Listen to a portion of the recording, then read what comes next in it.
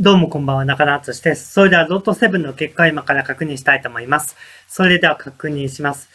えっ、ー、と、キャリーオーバーが3億4千万ぐらいか。えっ、ー、と、1等が該当なしで2等が8口。8口でだいたい700万ぐらいか。それでは当選数字見ていきたいと思います。それでは確認します。よいしょ。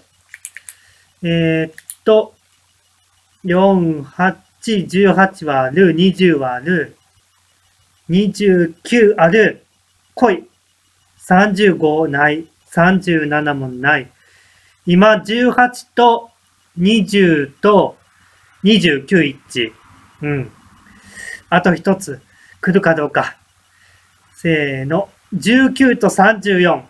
うわぁ。あったあったあったあったあった。ギリギリ当選。ギリギリ当選してた。ボーナス数字19。一致してた。よかった。久しぶりに当選しました。うん。えー、っと、マットやけど、えー、っと、6と、6と当選しました。本数字で18と20と29一致して、ボーナス数字19一致しました。いや、よかった。うん。やっぱり当選するんと違う、せえへんとではやっぱり気分が違うというか、うん。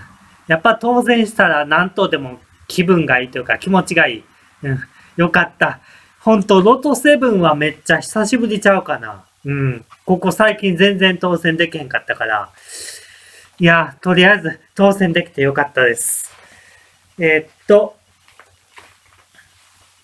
当選数字が4ちょっと最近多いな。出てる回数が。4と8、18、20、29、35、37で、ボーナスが19と34か。